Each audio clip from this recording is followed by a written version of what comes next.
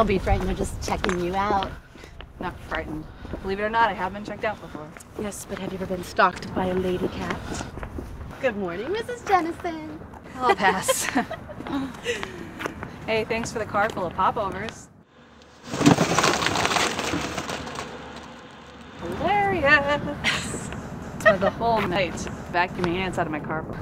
Ants? Oh, sorry. Wasn't part of the plan. Although next time we just won't put them in so early. Next time? How many initiation tests do I have to pass? Ah, relax, kitty. You returned, which means you passed. Come on. Wait, wait, I passed. So I am now a part of your exclusive little waitressing club. Thank you, Alison. You know, I know that you're bored and unhappy. So I guess if, you know, if pranking the new girls would get you off. Okay, wait, wait, wait. I am not bored or lonely. And yeah, we like to play pranks on people, and yeah, we think we're pretty hilarious. But if you don't want to be here, fine. All you have to do is sober up, get mommy and daddy off of your back, and get back to college. Oh my god. Oh, so what? We all know that you got a little bit drunk and got kicked out of school. Big whoop. Oh, is it okay? Is it? Because according to my parents and everyone else in this town, it is a big fucking whoop. It was just, that was funny.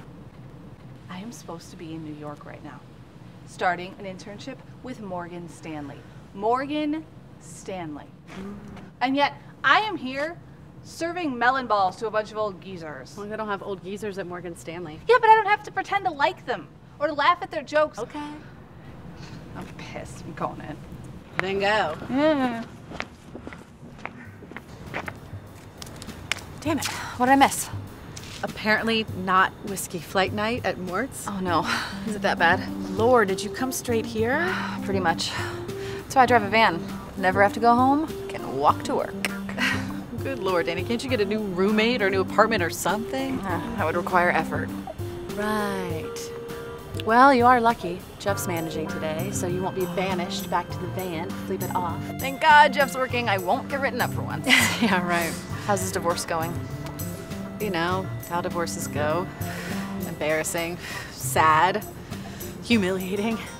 I think Sherry's already engaged to somebody else. Aw, poor honey. I know. So what's up Sarah's ass today? No, I think she's still a little angry about the popovers. and life in general. So nothing new, really. Not really. Word of warning, I would not try to cheer her up. Not having it, huh? No. All right. It's time. Let's do this. Are you high? Um, a little bit. Hurry up, let's go. Aye, aye, Captain.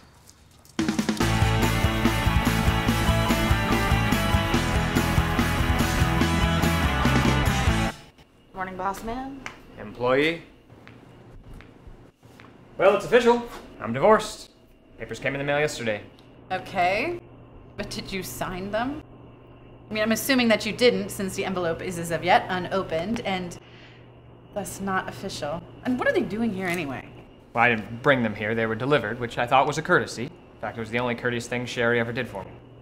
I'm not sure it's a courtesy as it is just registered mail. Well, it's a courtesy. So I thought later you and I could get together and go over all this paperwork together. It's just kind of overwhelming, and I'm, a little sad. Jeff, you were married for one year. Is it really that overwhelming or sad? Yeah. I mean, then I thought that, you know, later we could. No. Right. I'm just a little emotionally raw right now. She was a bitch to you. Just sign the papers.